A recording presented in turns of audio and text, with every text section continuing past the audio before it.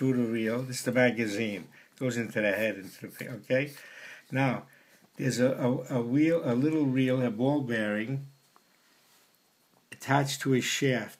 Goes out, and it's pivoting. It goes right through the case. It's like a, an arm here, right through the case, and it's attached to a, a steel wheel.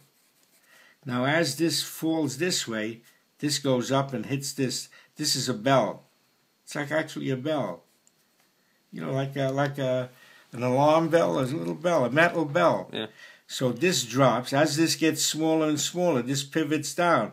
When this pivots down, this goes up and it hits the bell. Mm-hmm. You see? Yeah. This is outside the magazine. This is inside the magazine. There's a hole right through the magazine.